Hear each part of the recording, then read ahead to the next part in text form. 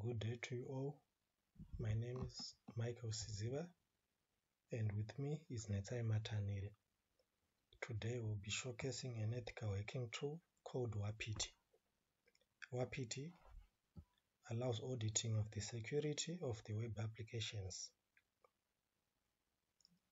It does so by scanning the web pages of the deployed web application, looking for scripts and forms where it can inject data. So this tool is found within the Kali Linux toolkit. So to select Wapiti, we go on to applications and under applications we navigate to web application analysis and then go on to select web vulnerability scanners and under web vulnerability scanners we select Wapiti. Wapiti starts by launching all the optional arguments which are found within the tool. So today we're going to perform a scan on the web application code 0.webappsecurity.com. So we'll start by performing a scan on our target website. So to do this, we type in the command wapiti and we're going to set our verbosity level to true to print each and every attack which is found within our target URL which is 0.webappsecurity.com so our scan is started and this command will load all the Wapiti modules to scan our web application for the vulnerabilities. And after the scan has been finished, a report will be generated and stored under this file path. So to view our report, we're going to copy our file path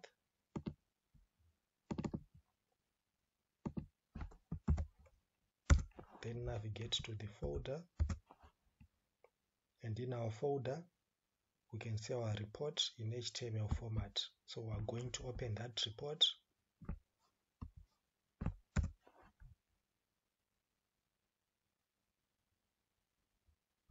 And from the report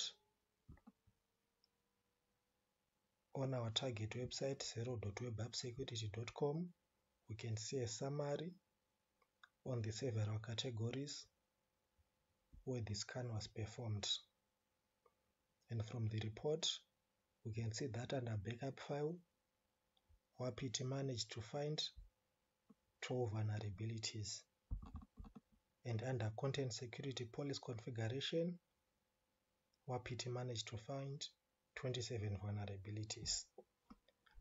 So now we're going to perform a scan on a specific module. So to perform a scan on a specific module, we again type in the command wapiti, setting the verbosity level to true on our target URL which is 0.webappsecurity.com and we're going to specify the module backup.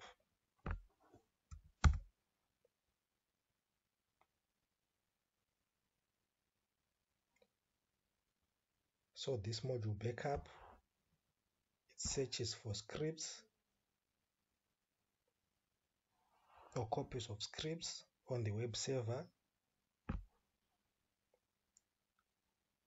So these copies of scripts, if they are found on the web server, may make our website very vulnerable to attacks since it will it may reveal information such as source code or credentials which might be used by hackers to attack the website.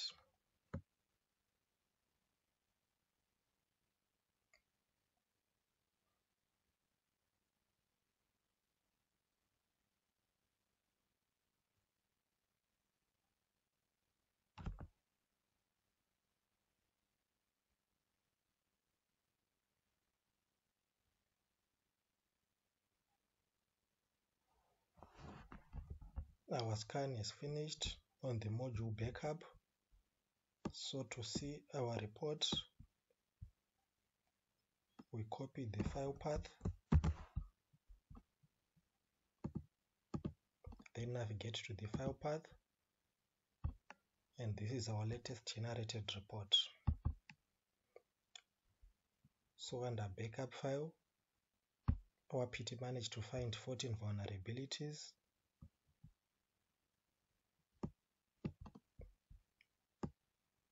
and it goes on to show us where the vulnerabilities were found for the backup files.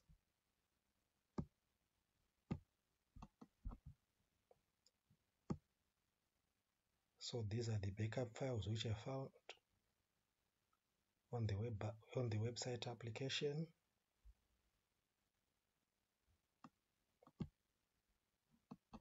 And the Wapiti also goes on in our report we're able to see a solution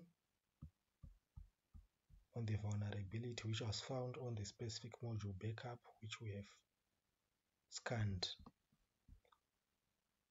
So the report is recommending a solution to manually delete the backup files or remove it from the web root and also to also deactivate automatic backups so that workers would be able to take advantage of these backup files which are on the web application. So we're also going to go back to our Kali Linux WAPT 2 and also want to perform a scan on a specific module.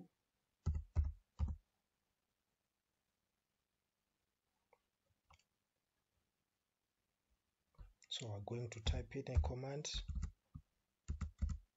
wapiti and now want to perform a scan to evaluate the security level of content security policies on the website. So we're going to specify our module csp and our scan has been performed. And from this we have noticed that there is no content security policy on our web application. We again navigate to this path and select our latest generated report and go on to content security policy configuration where 28 vulnerabilities were found. From the report, Wapiti has described content security policy as an added layer of security that helps to detect and mitigate certain types of attacks, which include cross-site scripting and data injection attacks.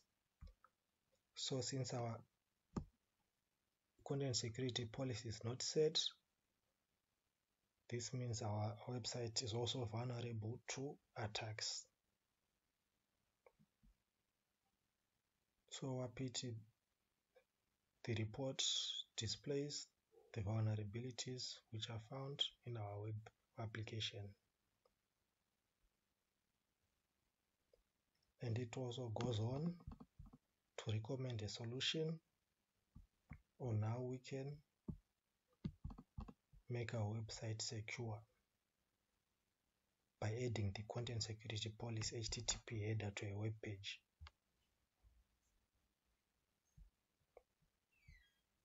Thank you.